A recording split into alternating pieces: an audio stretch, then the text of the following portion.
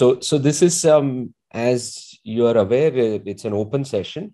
Um, and, um, you know, the idea is for you to be able to raise questions, uh, anything that you wanted clarification on. Um, and I can try my best to see if I can, you know, explain some of the stuff that Sarthak has a query. How is Filopodium different from a lamellipodium? Um, a Filopodium is this kind of very pointed membrane extension right? It's almost like a finger that is jutting out um, that um, the cell uses to probe its environment. The purpose of the filopodium and lamellipodium is very different. The lamellipodium is actually kind of a front it's like a wave of membrane right so this is when the cell keeps doing this uh, in the front of the cell um, this membrane that is being held up by the actin cytoskeleton underneath and is being pushed uh, right? Um, that entire membrane is called the lamellipodium. This pointed projection is, however, called the filopodium. And the filopodium um, has a different architecture because of the way actin bundles are put together to create that protrusion. Filopodium can be withdrawn, can be put out, withdrawn. Uh, lamellipodium can also be put out, withdrawn. The lamellipodium actually has um, a very distinct wavy pattern, you know, where uh, there are certain parts of the lamellipodium that are pushed forward, some are withdrawn. They both can happen at um, in a migrating cell, and um, the filopodium tends to happen early on when the cell is trying to probe its environment. So the way they are assembled, um, the architecture of these structures are all different. Um, the purpose they serve is also different, Sarthak. Okay, we'll have queries. Uh, Sneha, Sneha, you have a query. Go ahead. Uh, sir, yesterday I was reading the notes. Uh, so, sir, I was having, uh, I didn't got uh, one of the point. Mm-hmm. It was like Golgi pinches of transport vesicles and other vesicles that gives rise to lysosomes and vacuoles. Mm-hmm. So, see vesicular structures the golgi you remember we saw a movie of um, a membrane from the golgi budding out uh, which is mediated by this um, clathrin that sits on this uh, membrane. It pulls it out pinches it um, and then the clathrin disassembles and now a vesicle floats away right? So there are a couple of different ways by which vesicles can be pinched off from the golgi. Um, a lot of these vesicles make up that come out from the Golgi are the ones that, um, you know, depending upon the composition that they carry, um, can become different vesicular components, including lysosomes. Uh, right? And so um, even vacuoles are formed largely from the coming together of uh, vesicles uh, to create bigger uh, you know vacuole like structures uh, which they then eventually become vacuoles right? So um, so a lot of the origin of these structures is from the fact that from the golgi they can bud off. That's what that know, that statement is meant to say right? Rk uh, Kulkarni. Rishabh, you have a query about uh, clathrin uh, in endocytosis. See, I, I, I haven't covered endocytosis, and there is an intent here in not covering endocytosis because it uh, if you cover one, you will have to cover a lot of other things. And you know, we're also doing things uh, in a form that um, you know everybody gets most of what is done in class. Um, and it's all not too overwhelming. So, clathrin mediated endocytosis is not part of what we are covering here. But in the interest of the query, um, what I will tell you is clathrin is a very distinct um, kind of protein. It's a triskelion. It has three um, kind of uh, uh, structures if you want to call it three uh, the protein has three arms to it if you want to call it that and and these uh, structures fit into each other and they create um, you know what looks like a, a football right? Um, um, a structure that looks like uh, the skeleton of a football. Um, and um, that triskelion um, attaches obviously to the membrane um, and plays a vital role in bending the membrane in such a way that now the membrane also acquires the shape of the football right? Um, and then, of course, there is a mechanism by which the final pinching of the membrane can take place. And once pinching happens, then the triskelion, again, this is regulated, you know, by uh, phosphorylation and other changes uh, to this protein, it can disassemble. So it will assemble, form this structure, allow the membrane to acquire this shape of the structure. Once the membrane pinches off, uh, you know, this structure disassembles and now you have a floating membrane vesicle that has effectively been pinched off. Um, and and that's um, one of the mechanisms of endocytosis um, you know which is clathrin mediated endocytosis. There are obviously other mechanisms of endocytosis like um, caveolar endocytosis. Um, you know, there is a there is a click geek pathway, right? Um, and I won't get into what each of these means, but there are many methods by which endocytosis can happen. Not everything has an elaborate triskelion-like mechanism. Uh, in that sense, clathrin is very unique. Uh, you know, uh, as far as endocytosis is concerned. Anand has a query uh, does the viral DNA in case of infection enter the nucleus via the NPC? Can the NPC stop this viral DNA from entering sometimes? I actually don't know. I actually don't know whether uh, that's the only way for entry or whether there are other ways for entries. Uh, you know, if you find out, let me know as well. Um, I, I'm not aware if all viral DNA enters only exclusively through the NPC. Um, Abhishek has another query. How is motor protein traffic maintained without collisions happening between them? Or are there separate microtubules for anterograde? No. So, so the clear no here is that there isn't a microtubule that carries motor proteins in only in one direction and one that carries in the other direction. Okay, that doesn't happen. Um, it is very clear that there is movement happening in both directions on a microtubule strand, and there is um, uh, documented evidence for this as well. So it's unlikely that uh, you know there is a selected microtubule going in this direction and one in the other direction. Now, how do they avoid collisions? Um, it isn't entirely clear whether um, collisions are actually avoided. Uh, right? So it's highly possible that uh, collisions are part of what the motor protein has to encounter, uh, right? And uh, it just has to navigate uh, through um, you know through all the crowding that exists. Um, and this obviously influences the rate at which motor proteins move. It will it will kind of move with stops um, and things like that. But that probably does happen uh, in many of these circumstances right? So i don't know how many of you ever traveled in trains in bombay. I grew up in bombay and you know any train you take in the morning rush hour uh, if you want to get from one side of the um, train to the other side uh, you know you have to kind of yeah i don't know how you manage it but you somehow wriggle your way through right? And um, um, and so that if that crowd exists um, on a regular basis obviously your movement from one end to the other uh, is uh, affected by that crowding. And and that's probably uh, true with motor proteins as well.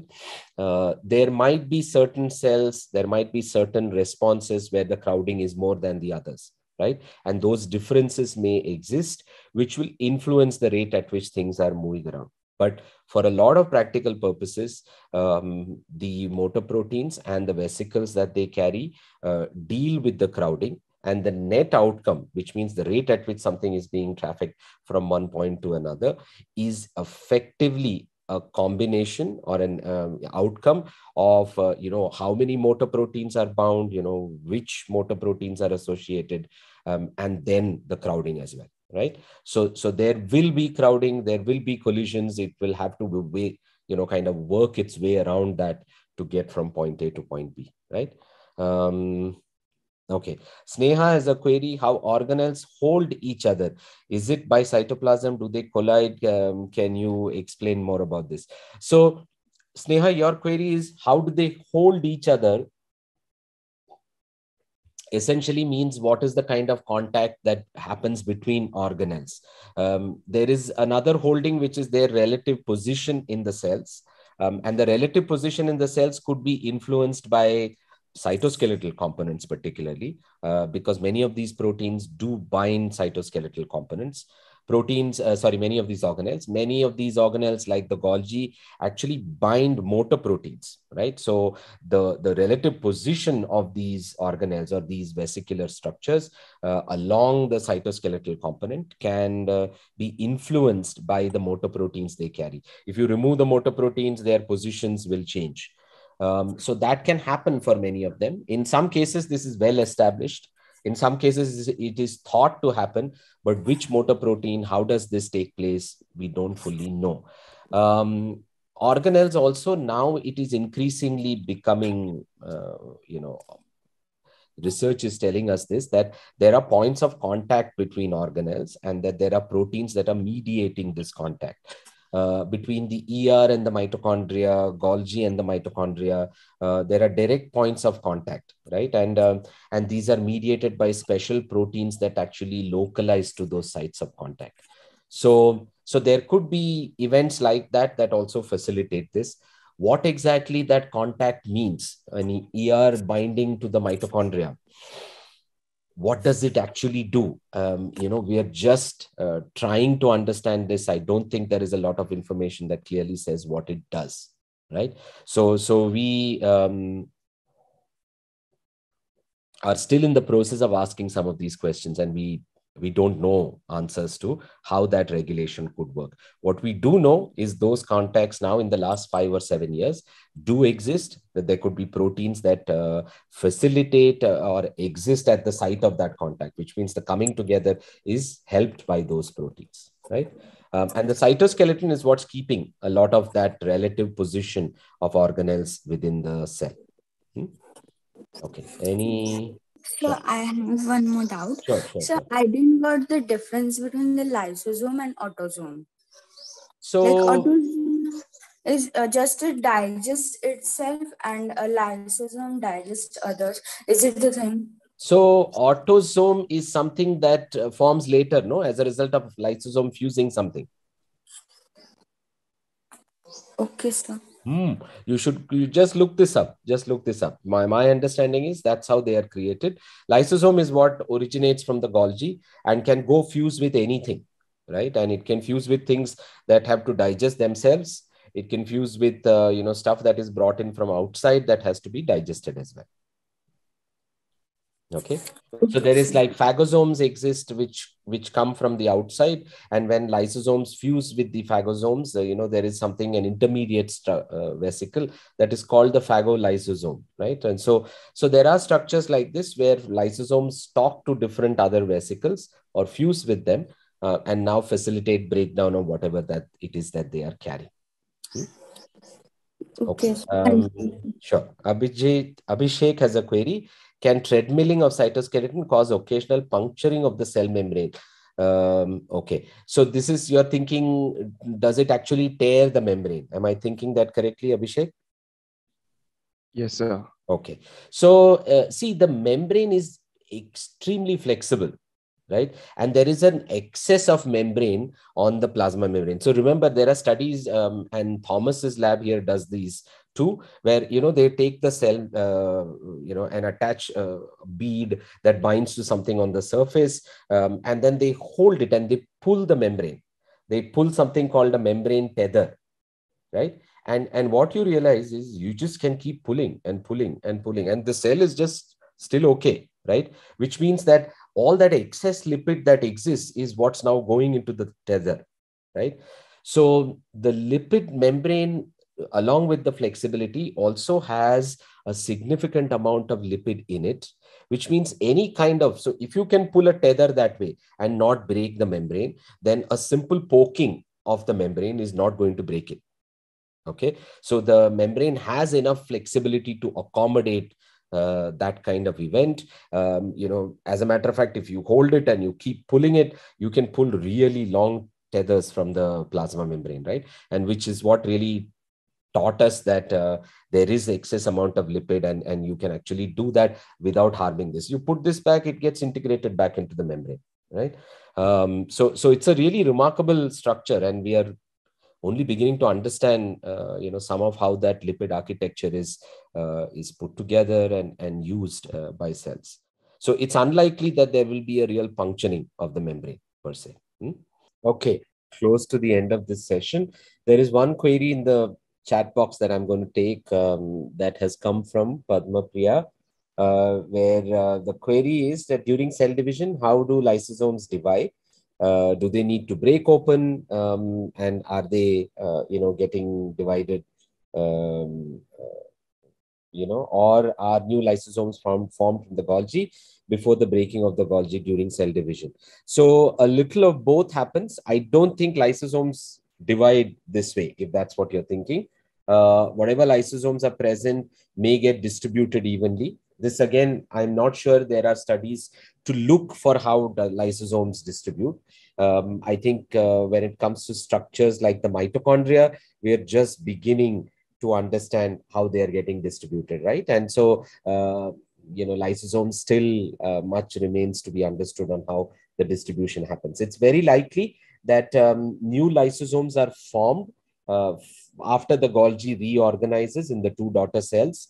Um, and uh, during cell division, remember, there are many events that the cell actually pauses, right? Um, and says, okay, we are going through this, uh, you know, let's get this done and then get back to doing, uh, you know, what we were doing earlier.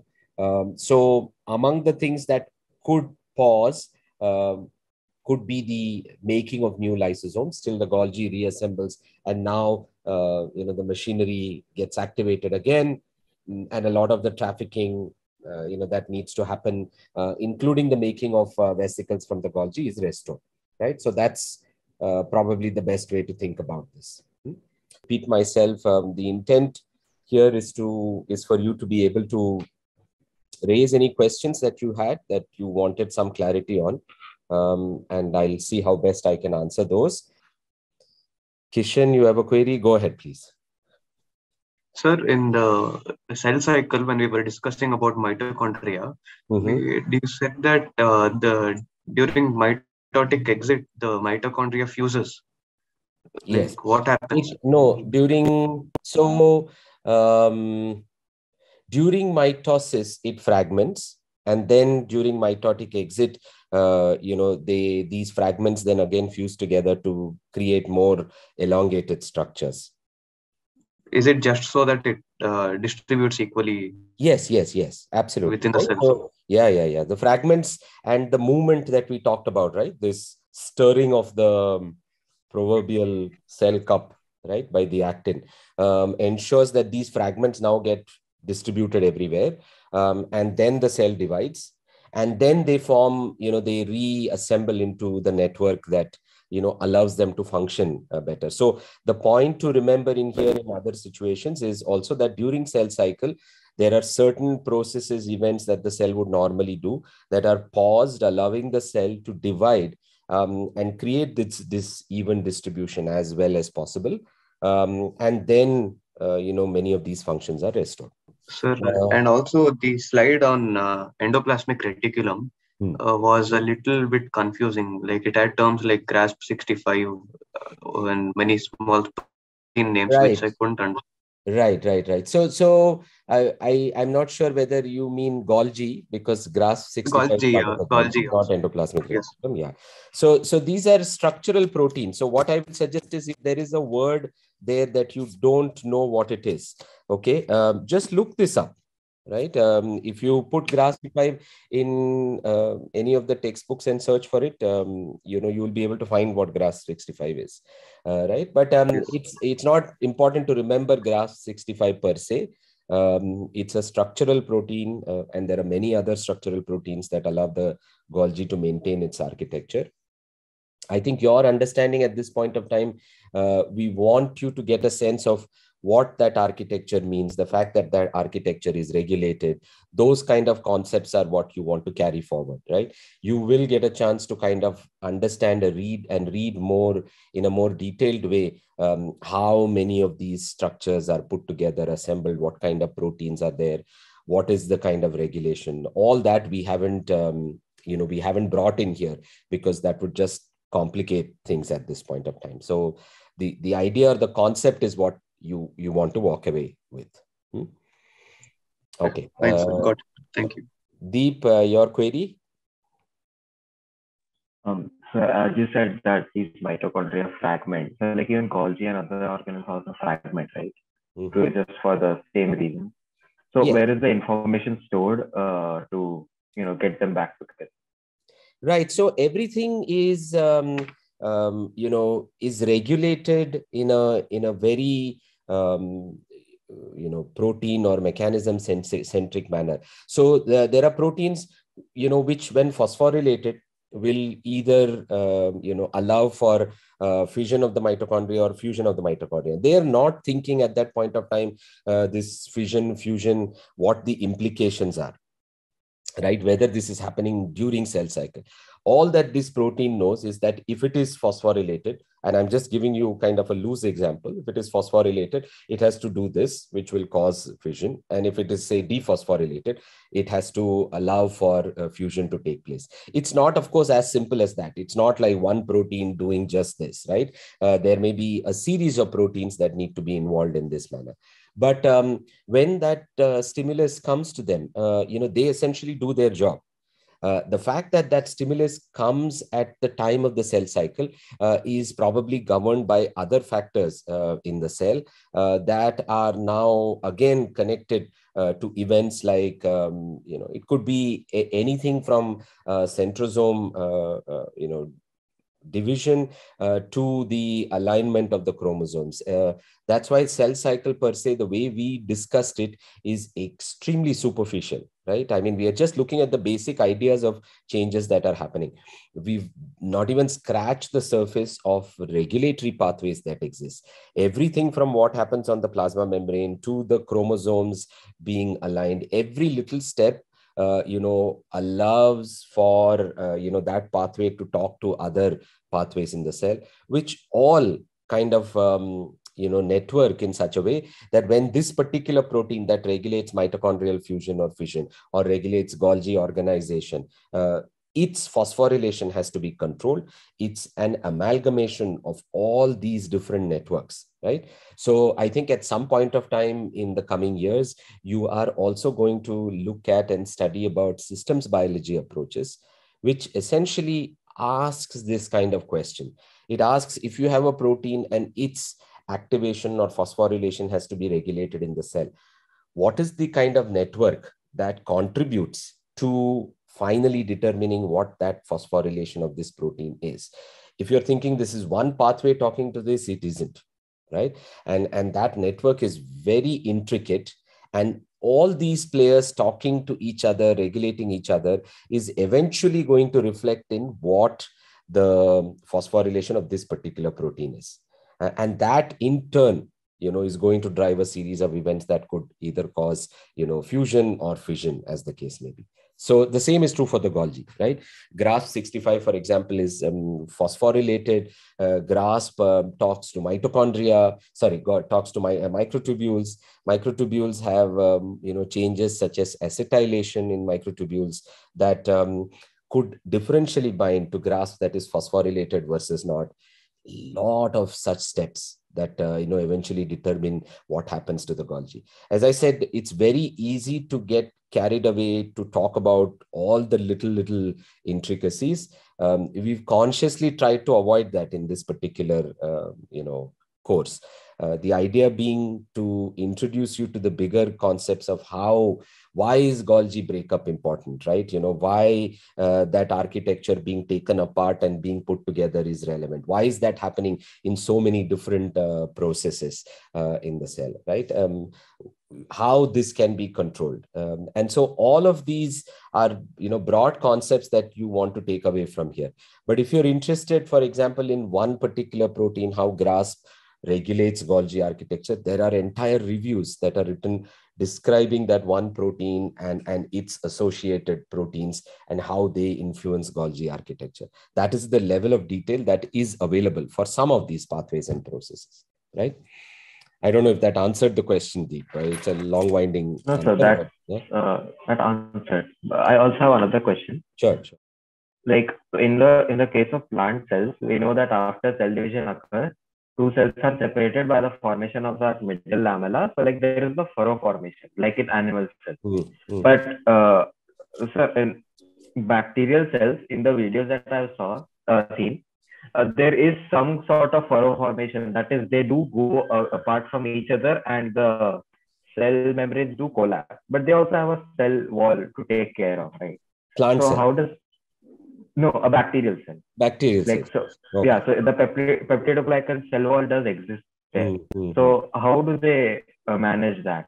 Like, so, so, so I'm not sure. I'm not sure whether there is a direct mechanism that is distinctly different in the peptidoglycan layer, um, or whether once the cut happens, you know, essentially you have the peptidoglycan layer going above the cell membrane, uh, right? That allows for it to um, kind of um, seal up the bacteria, right? And and now have the cell membrane and the peptidoglycan layer running, uh, you know, all along.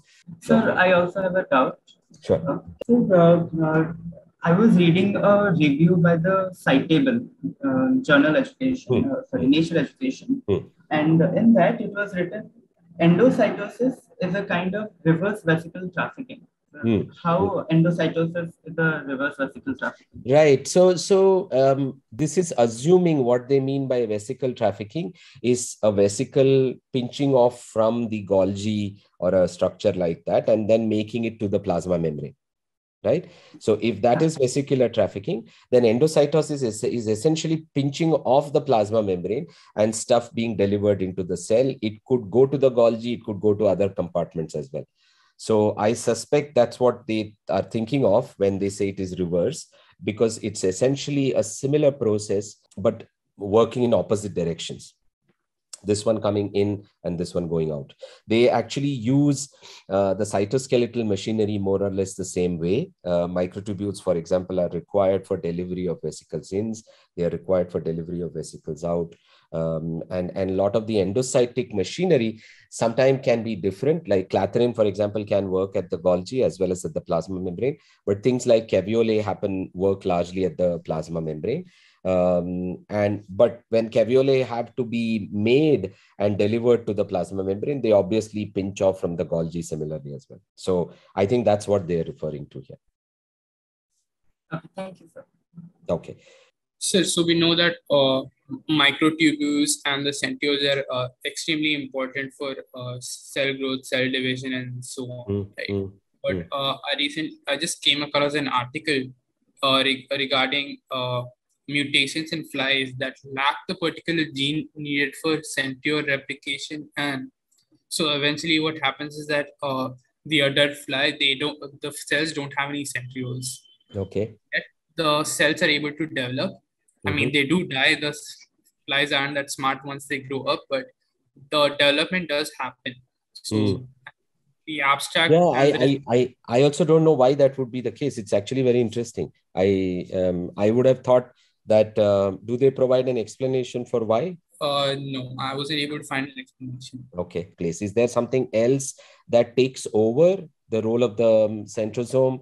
Um, I'm not sure whether there are studies that have been done in mammalian systems that uh, look at this very similarly. So, for example, the Golgi in flies is very differently organized as compared to uh, the Golgi in mammalian cells. So, I was, I mean, tempted to say uh, that the Golgi could um, come in and do what the centrosome does, but I also know that the Golgi uh, is organized very differently there. So, does that act as a nucleating center like centrosome does? Here in mammalian cells. Does that do a similar role in flies? I actually oh, don't know. not because uh, eventually the uh, end result what happens is that uh, the cells do not have any cilia, flagella, and so on. Mm-hmm. Does it is this targeted in one specific cell? No, it doesn't seem like it. Okay. Okay. I, mean, okay. I just read the abstract and part of the results, but okay. Uh, it doesn't seem like it. Look this up, and and if required, speak to Girish. I I also I mean I I will have to go read enough to know how this is happening. Uh, it's an interesting result if that is the case, and they must have an uh, at least a suggestion on what could be happening as to why the cells are able to, uh, you know, live through this, right? Um, and what exactly compensates for what the role of the centrosome, because obviously there is a role for the centrosome, and something has to compensate for it. Um, and I don't know whether in flies there is a system that allows for that. My doubt was like it's isn't uh, exactly related to the course material Okay. But in all the animations and the videos we saw, hmm. how exactly are the simulations being done? Because yeah, yeah, yeah. I would guess that these are all like so biophysics would be based mm-hmm. on statistical mechanics. But how are they uh, so sure of uh, like all the dynamics? So, so uh, my short answer here would be that uh, this is this will be evolving. Uh, this is based on current information that we have. Many of these is coming in small parts and pieces from different studies which um, you know are looking at very specific aspects. Obviously there isn't one study that looks at all of this. Everything from the size of a vesicle to say how many motor proteins bind um, cannot come from one particular study uh, so the the hope um, i mean the intent here was to kind of assimilate the current information and see if that can be used to generate a model that looks like the best model right now right? So it isn't the perfect one. It may not also be how uh, you know entirely accurate. Uh, you know we may revise this. Um, and i think that is one of the um, uh, important requirements i think in in any scientific inquiry that i think you have to be open to this kind of revision. Um, and the hope is uh, you know five years from now there will be an updated version and a bunch of things will be different. You know five years from then uh, there will be another updated version and we will add new things to it right? Um, and as i said something as simple as how the mitochondria are distributed inside the cells right during cell division. Eh, we, we just discovered it four months ago right? Uh, and and we've been looking at cells forever you know at least for a few 50 60 years with some level of um, uh, you know some level of intent. So yeah so there isn't uh, it it's the best that we have based on information that is available right now. And this will obviously keep evolving. Um, i think some of that information is also coming from different cell types. So that's another point to consider right? Uh, that um, uh, we don't think i don't think we have uh, all information from one type of cells. So uh, so you're putting all of this together and trying to see if you can generate a model that reflects what's going on. Uh, I think a lot of systems biology is essentially trying to do this uh, in, in more than one ways, is to essentially tie information together um, that's coming from very diverse sources in a way that allows us to see a big picture, uh, you know, which is closer to the real thing. I, I think it'll be a while before we can say this is the real thing.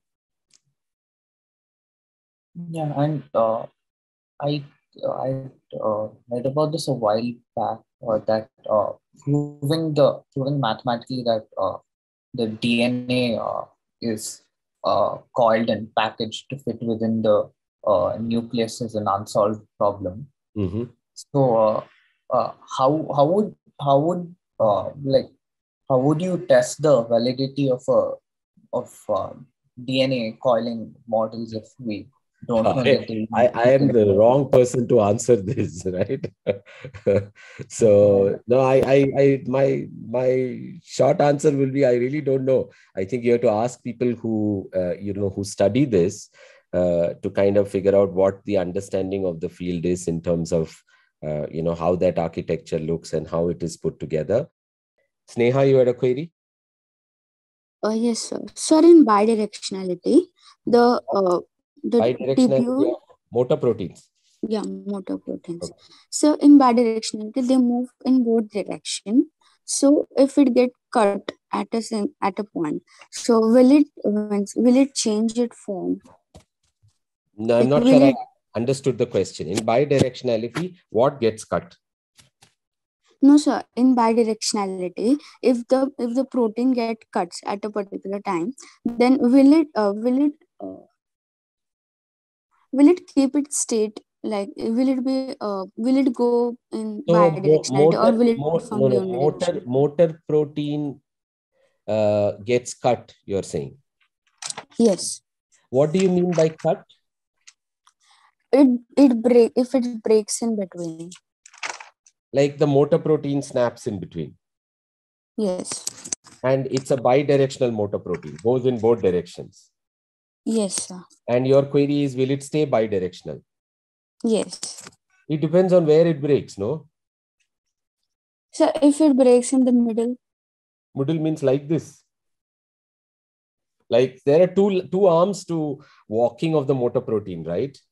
If the do- both arms don't are not attached to the same structure, it won't walk. Yes, sir. Right. Right. So so I, it's uh, I mean, uh, I understand your question, but maybe you're not framing it correctly. because uh, a protein breaking is is a very loose term right? I mean if you're saying that it loses one of its legs will it continue to walk? Uh, you know chances are it won't uh, right? Um, if um, protein breaks along its shaft such that the vesicle falls out the base of the protein which is actually of the motor protein that's walking will continue to right it may not be able to bind something but it will probably walk okay sure hmm, right uh, Vignesh in chat has a query saying, aren't these animations more of a movie than true scientific stimulation? Uh, simulation. I think uh, with something like the inner life of the cell, um, there is a fair amount of accuracy to what they have built. Um, and uh, those are fairly uh, accurate, right? Um, but there are other movies which are largely meant to explain how a phenomena looks, uh, which are more a schematic or a cartoon rather than um, true scientific uh, simulation. But inner life of the cell was built with the understanding that it's going to be, uh, you know, it's built with a lot of uh, information that has come from scientific uh, work, and so is meant to be fairly accurate for that particular time, of course. Uh, I have a question. Yeah, yeah, go ahead.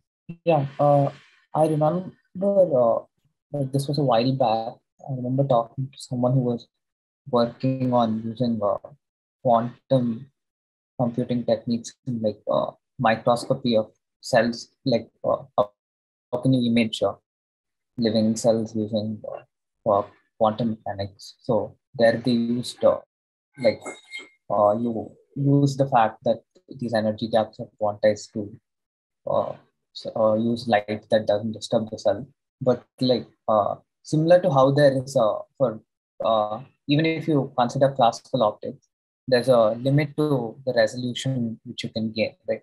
Mm-hmm. So is there some uh, fundamental like limit in uh, microscopy of biology just due to the yeah, right, yeah right right now there is no uh, in terms of for the same reasons that you're pointing out um, I think, um, you know, see, electron microscopy is probably what gives you um, the kind of resolution in terms of cells that's the best we have at this point of time. Um, now, the challenge with electron microscopy, obviously, is that, um, you know, we've not really been able to look at um, live cells, uh, at least not yet. Um, and uh, there isn't a method that allows us to um, uh, you know to do that uh, being able to look at just cross-sectional images uh, in EM and put a, a 3D reconstituted image um, has probably happened in the last 10, 15 years. And, and, you know, that's obviously added a lot. Yeah, so, so there is a limit to what we can use. Um, you know, some of that limit is being stretched by the fact that you are, uh, you know, using algorithms that, um, that uh, fill information uh, in ways that is very intuitive um, and uh, it doesn't exist actually in the image, right? So you can clean up the image uh, in a way that um, allows you to see something that actually is not there in the parent image. Um, and, and that has improved resolution a bit, but that's yeah that's cheating right? Uh, i mean uh, in effect uh, it's um, not really uh, the action yeah, but the way that you're being processed by the by the way it is being processed. So um, yeah so there is a limitation there right? And and and there might be things that will come up in the future that allow us to achieve a greater resolution uh, without actually damaging the cell in such a way that um, we are able to yeah that we are able to see um, you know things with uh, greater greater clarity. Uh, right now what we are doing is we are combining the kind of image and information uh, that still images produced in em uh, with the kind of dynamics that we can achieve in live cells um, and trying to assimilate the two to kind of make sense of how this is all possibly working. Um, to get that kind of resolution in this kind of a setting will be will be quite something. Yeah and it'll it'll ask allow us to ask things that we've not been able to ask so far. Yeah yeah still still a lot remains to be done